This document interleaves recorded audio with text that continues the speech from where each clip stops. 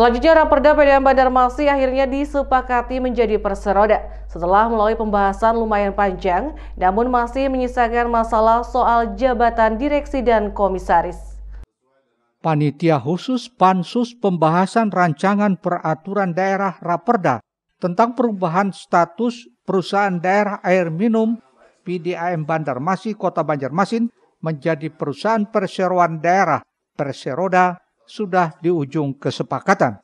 Sekitar 90 persen draft raperda itu sudah disepakati bersama pada pembahasan lanjutan yang digelar beberapa waktu lalu di gedung DPRD Banjarmasin. Ini seperti disampaikan Ketua Pansus Raperda HM Faisal.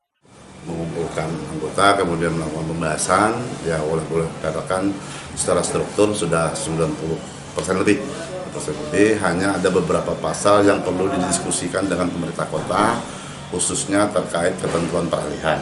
Jadi ketentuan peralihan itu menyangkut pekerjaan secara teknis oleh kawan-kawan uh, di PDAM, kemudian juga terkait direksi dan ini yang harus dikonsultasikan dengan pemerintah kota melalui tim pembina uh, eh, BUMD di pemerintah kota. Anggota DPRD Kota Banjarmasin ini juga mengungkapkan hanya ada beberapa pasal lagi yang perlu didiskusikan dengan pemerintah kota, khususnya masalah peralihan direksi dan komisaris jika PDAM sudah ditetapkan sebagai perseroda. Masalah ini pun akan dikonsultasikan dahulu dengan tim pembina BUMD pemerintah kota Banjarmasin. Baru nantinya keputusan pemerintah kota sebagai pemegang saham tertinggi di PDAM tersebut dibahas lagi di Dewan atau pada pembahasan pansus raperda tersebut. Murtasia, Banjar TV.